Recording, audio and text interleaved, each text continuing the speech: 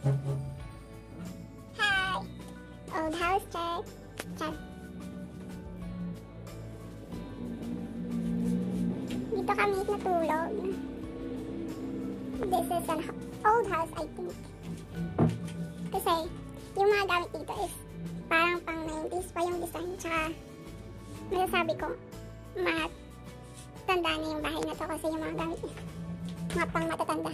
I napaka-vintage yung design niya. Kahit yung TV nila. And may mga mirrors na ang cute. So this is the sala. Nasa taas kami. Dito kami kumain.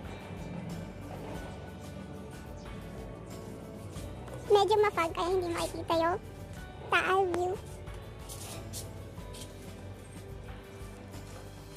Marami pa silang rooms. Yung mga rooms sila. Magaganda yung mga mirror. Mirror, mirror. Yan. Kidding.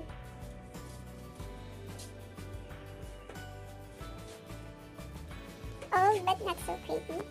Medyo cute pala. Medyo cute siya para sa akin. And this is the next room.